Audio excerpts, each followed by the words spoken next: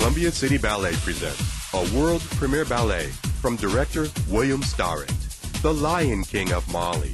Premieres at the Koger Center February 3rd and 4th. Don't miss it. Call 251 2222 to get your tickets today.